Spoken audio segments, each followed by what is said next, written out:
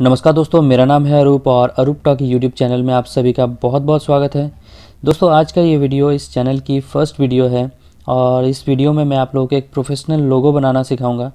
तो उसके पहले दोस्तों, मेरा आपसे कुछ रिक्वेस्ट है कि अगर आप इस चैनल पर आए हैं तो प्लीज़ चैनल को सब्सक्राइब कर लीजिएगा ताकि मुझे सपोर्ट मिले, आप लोगों का प्यार मिले। और अगर दोस्तों, आपको ये वीडियो पसंद आए तो इस वीडियो को एक लाइक ज़रूर कर दीजिएगा। साथ ही साथ आपका एक प्यारा सा कमेंट इस वीडियो में ज़रूर कर दीजिएगा। तो चलिए दोस्तों, ज़्यादा समय को ना गवाते हुए सीधा हम लोग पॉइंट पे चलते हैं।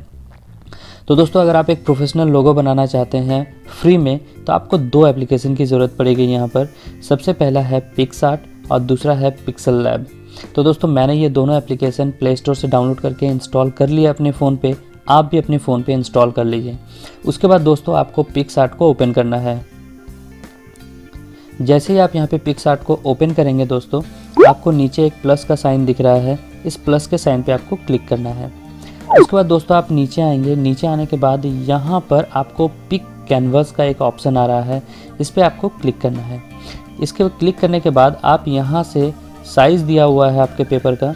आप कोई भी एक पिक कर सकते हैं या फिर अगर आप चाहते हैं कस्टमाइज़ कोई पिक्सल देने का तो आप यहाँ पे कस्टम पे क्लिक करके यहाँ पे आप अपना कस्टम पिक्सल को चूज़ कर सकते हैं। तो चलिए मैं यहाँ पे 800 सौ इंटू आठ सौ कर देता हूँ। जो एक यूट्यूब का जो आइकन होता है, उसके लिए ये स्टैंडर्ड है।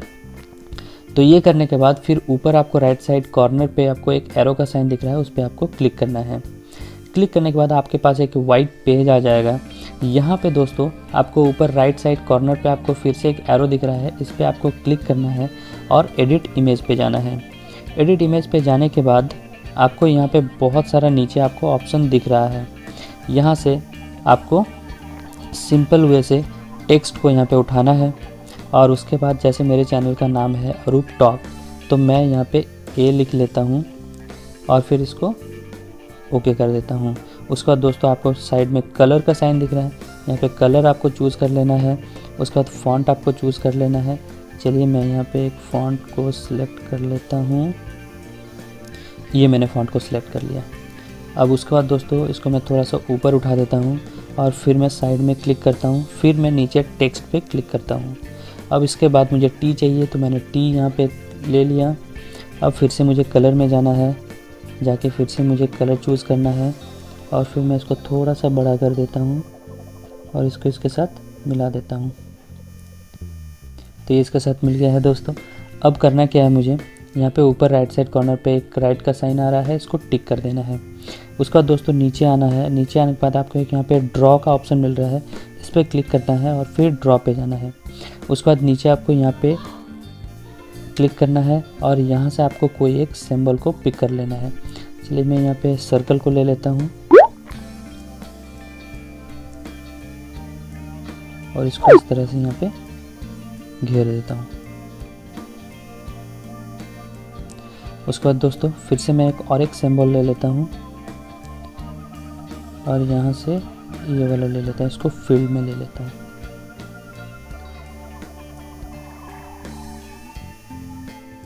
ऐसे। यहाँ पे चाहे तो आप इसको कलर भी कर सकते हैं। तो मैं यहाँ पे चलिए, यहाँ पे रेड दे देता हूँ। नहीं ब्लैक ही सही था। ब्लैक ही दे देता हूँ। ठीक है? अब चलिए यहाँ से आपको ऊपर राइट साइड में टिक कर देना है। उसका दोस्तों ये सिंपल तरीके से मैंने एक सिंपल लोगो यहाँ पे बना लिया। अब करना क्या है इसको? नेक्स्ट अब काम है पिक्सल लैब का। तो इसको ऊपर राइट साइड कॉर्नर पे एरो पे क्लिक कर देना है और इसको सेव कर लेना है। तो चलिए मैंने इसको सेव कर लिया। अब मुझे ओपन करना है पिक्सल लैब पिक्सल लैब को ओपन करने के बाद मुझे यहाँ पे जाना है।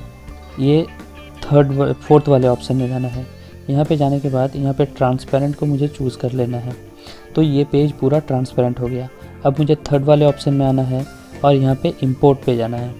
इंपोर्ट पे जाने के बाद जो मैंने अभी बनाया पिक उसको उठा कर मुझे यहाँ पे लेके आना है। और उसके बाद फिर इसको यहाँ से खींच लेना है। अब दोस्तों करना क्या है कि आपको यहाँ पे साइड में आना है। साइड में आने के बाद यहाँ पे आपको मिलेगा इरेज कलर इस पर जाना है आपको और इनेबल इसको कर देना है। तो क्या होगा कि ये पूरा ट्रांसपेरेंट हो जाएगा और पीछे भी आपका पूरा ट्रांसपेरेंट है। अब दोस्तों, यहाँ पे आपको फिर से आगे आना है। यहाँ पे थ्री डी शेप में आपको आना है। इसको भी इनेबल कर देना है। तो आपका लोगो पूरा थ्री में आ गया।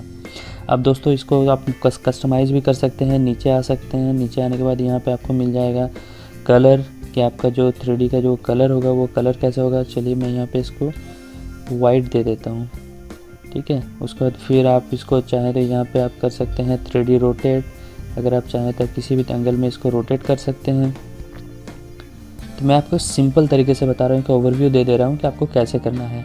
तो बस आपको यहाँ पे रोटेट दे देना है और उसके बाद चाहें तो आप यहाँ पे टेक्स्ट को भी एडिट कर सकते हैं। यहाँ पे सेकंड वाला ऑप्शन में जाना है, यहाँ पे टेक्स्ट में जाना है। इसको उठा के यहाँ पे लेके आना है। फिर एडिट में आपको जाना है और यहाँ पे लिखना है रूप टॉक ओके करना है। फिर आपको इसका साइज़ को बड़ा कर देना है और इसको ऐसे यहाँ पे रख देना है। अब दोस्तों, बस ये आपका लोगो तैयार है। आपको ऊपर राइट साइड में थ्री डॉट में जाना है और एक्सपोर्ट इमेज में जाना है और यहाँ पे जाने के बाद आपका डायमेंसन जो है, यहाँ पे डायमेंसन को आपको यहाँ पे सिलेक्ट कर सकते हैं या फिर आप कस्टम में जाके यहाँ पर आप अपना कस्टम डायमेंसन दे सकते हैं। उसके बाद सेव टू गैलरी तो दोस्तों, ये बस यही एक छोटा सा वीडियो था। उम्मीद करता हूँ आपको पसंद आया। तो प्लीज़ अगर पसंद आया तो एक लाइक ज़रूर कर दीजिए और चैनल को सब्सक्राइब ज़रूर कर लीजिए। तो मिलते हैं दोस्तों आपसे अगले वीडियो में। तब तक बाय एंड टेक केयर